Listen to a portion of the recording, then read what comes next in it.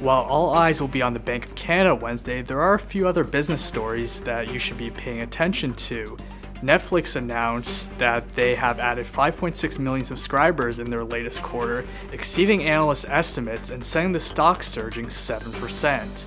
The budget watchdog has warned that Canadian debt has now hit a new level and is the highest in the developed world.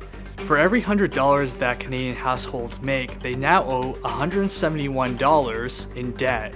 And stocks fell once again Wednesday, with the MSCI Global Stock Index approaching bear market territory, defined as a drop of 20% or more. Now, it's been a few years since we've seen a bear market in stocks, and there's concerns now that the seven year bull market may be near an end. For the Financial Post, I'm John Shmuel.